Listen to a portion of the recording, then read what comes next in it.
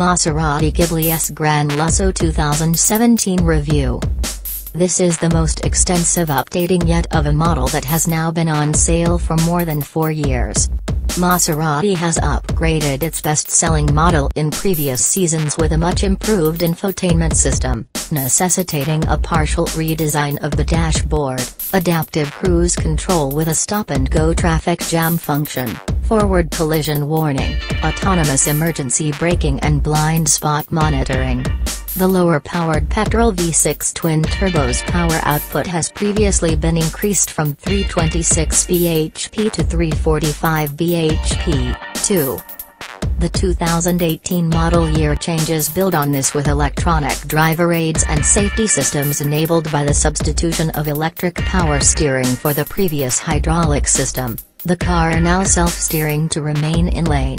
The Ghibli's nose, grille and tail have been redesigned, there's a power upgrade for the Petrol S, adaptive LED headlights are standard and the range has been restructured similarly to the Levante and Quattroporte's.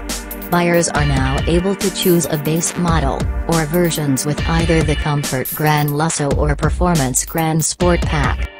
Cars with either of the trim packs are the same price. Key ingredients of the Gran Sport Pack include Maserati's adjustable skyhook electronic dampers, paddle shifts, racier seats and more sporting design details. The Gran Lusso has conventional suspension but provides soft close doors, 12 rather than 6-way electric front seats, electric adjustment for the steering wheel and pedals and interior trim that includes silk inserts by fashion designer Ermenegildo Zegna.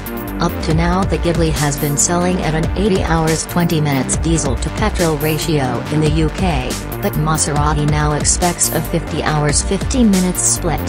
The 247 bhp VM diesel remains unchanged, the base petrol V6 turbo provides 344 bhp and the S version a thumping 444 bhp, but in a car that weighs more than 1,800 kilograms. Learn more visit www.autocar.co.uk.